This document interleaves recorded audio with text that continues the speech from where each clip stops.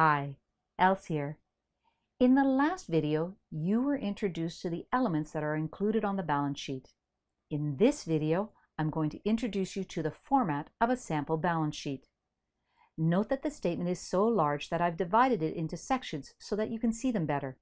However, the balance sheet written on a piece of paper would show all of these sections together, one right after the other. As always, the statement starts with the heading, which must include the business name and the title of the financial statement. One change from previous statements? The balance sheet is at a point in time, not for a period of time. Why? Because every time a business has another transaction, their financial position changes. For example, if you have $10 in your pocket right now, and then you buy a Timmy's coffee, your financial position in the moment after you paid for your coffee has changed. That's why the balance sheet is a snapshot, one single second in time. The title of the statement reflects that by using the word at instead of for the period ending or for the year ending. Remember this as it's one of the most common mistakes students make on the balance sheet. Listed first on the balance sheet are the assets with the heading Assets. Then there's the first subcategory, Current Assets. There you will see the details of the current asset accounts. Notice that the assets are listed in order of liquidity. What does that mean? The faster the business can convert the assets into cash, sell, use, or consume them, the higher they are on the listing of current assets. For example, cash is listed before accounts receivable. That's because the business constantly uses cash, while the collection of accounts receivable will take time, perhaps as long as 45 to 90 days from the balance sheet date. Note that current assets, which will be converted into cash, like accounts receivable, are always listed before assets that will be used or consumed. Accounts receivable will be collected in cash, but prepaid insurance will be used up over time. So things like prepaid rent, prepaid insurance, and supplies are all listed last, after accounts receivable. Is the order of the items that will be used or consumed over time important? Actually, no. I could have listed supplies first, and the statement would still have been correct. Next, there is a subtotal called total current assets. Let's move on to long-term assets, ones that will last more than a year from the current balance sheet date. Remember that the long-term assets are subdivided into three different groupings. Each subcategory has its own heading and often its own subtotal. First is property, plant, and equipment. At this point in the course, you actually haven't been exposed to a business that purchases long-lived tangible assets. So, for now, we're going to leave this subcategory alone. You'll be introduced to this concept in a future video. Next, the heading Intangibles, followed by an individual listing of all the intangible assets. These are listed in order of liquidity, from the intangible that lasts the longest to those that last the shortest. This benefits the stakeholders who are using the statements to make decisions. If there are more than one intangible assets, you also have to add a subtotal called total intangible assets. Finally, other assets, which are all the long-term assets that don't fall into the other subcategories. For instance, an accounts receivable that is outstanding for two years would be included in this catch-all subcategory of long-term assets. Also listed is the prepaid rent for year two. Remember, if we're going to use up the prepaid rent in the next year, it has to be listed under current assets. If the category has more than one line item, then a subtotal called total other assets must be included. At the bottom of the assets section is a total called total assets. This includes a total of all the subcategories together. Liabilities are next. Recall that liabilities are divided into current and long-term, with current listed first. This part of the balance sheet starts with the heading Liabilities and then Current Liabilities. The current liabilities are listed in order of how fast they will be paid or settled. The faster they'll be settled, the higher they appear on the listing. Generally, current assets always starts with accounts payable, as these are the liabilities that will be settled first. Notice that current liabilities include an account called current portion of note payable. What is this? It's the amount of the note payable that will be paid within the upcoming year. It's part of current liabilities because it meets the definition of a current liability, due within one year of the balance sheet date. To clarify, let's take a closer look. The business owes a total of $50,000 to the bank. The bank expects the business to pay back $1,000 every single month. That means that in the next 12 months, the business will pay $12,000 of the outstanding loan back to the bank. This meets the definition of a current liability, so it must be included under the current subcategory.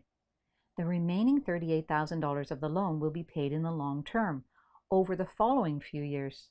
The total amount of the loan is $50,000, but when divided between current and long term, the current portion at the balance sheet date is $12,000, and the long term portion is $38,000. Together, the total is correct, but the business has to show the two amounts separately. That's because they need to meet the definition under each subcategory. It's this $12,000 that shows up as part of the current liabilities on the balance sheet under the name current portion of long-term debt, or here, current portion of note payable. Next, a total of all the current liabilities is provided. Businesses then list all the long-term liabilities, which are any liabilities that do not match the definition of a current liability, accounts which often have the word payable as part of the account name. Long-term liabilities have the same structure, starting with the heading Long-Term Liabilities. Next come a list of the accounts which make up this subcategory, and they have to be in order of when they need to be paid. The faster it needs to be paid, the higher the liability will be on the listing. Finally, a total long-term liabilities is required if there is more than one account, as there is in this balance sheet. Remember the current portion of the note payable? The long-term portion, which is due beyond the one-year period, is listed under long-term. The total note payable is the current portion plus the long-term portion together, which would be the $50,000 that is owed to the bank. The liabilities section closes with a total of all the liabilities, current and long-term, called total liabilities.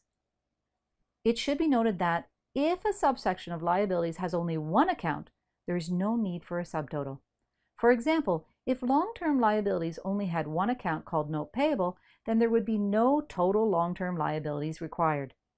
The amount of the note payable would simply be listed by itself with no subtotal, but still with a heading.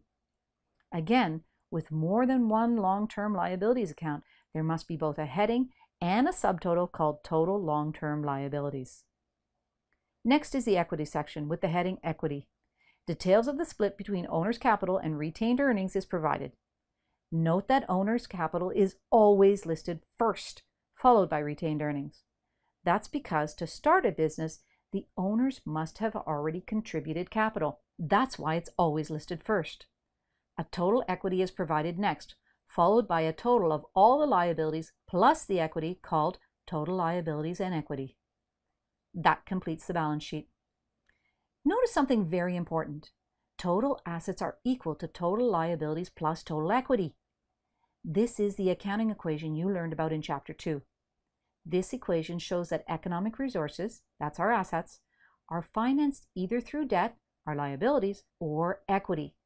It's important to recognize that on the balance sheet, assets always equal liabilities plus equity. The accounting equation must always balance. Pause the video in order to answer the following check your understanding question. The balance sheet would not include which of the following accounts?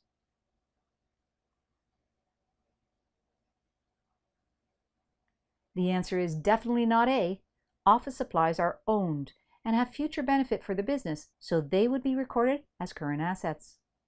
The answer is not B because unearned service revenue represents the services owed to the customer and is therefore on the balance sheet as a current liability.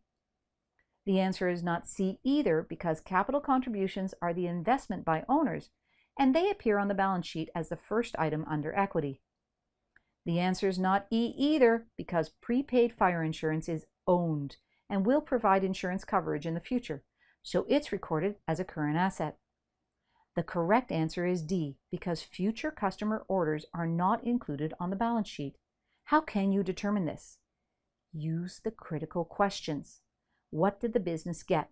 In order for the future, but no cash. What did the business give away? Nothing, because we will not provide the service until the future. This is an event, not a transaction. As such, it may be valuable to the business, but it can't be listed on their balance sheet.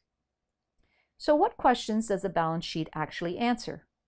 For owners, it shows if the business can pay its current and long-term debts as they come due. But it provides much more information than that, such as what is the breakdown of the assets? What's the breakdown of the liabilities? When are they due? In what order?